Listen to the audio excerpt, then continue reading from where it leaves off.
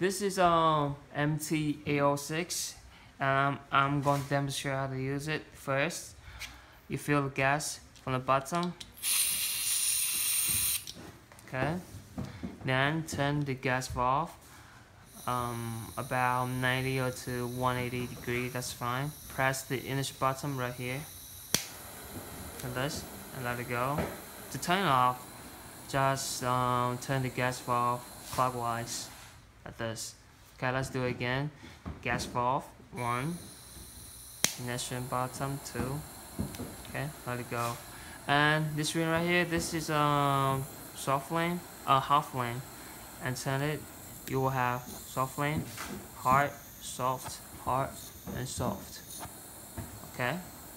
To turn off, just turn the uh, gas valve all the way to uh, to the left, which is uh, clockwise all the way down. Then the gas is off.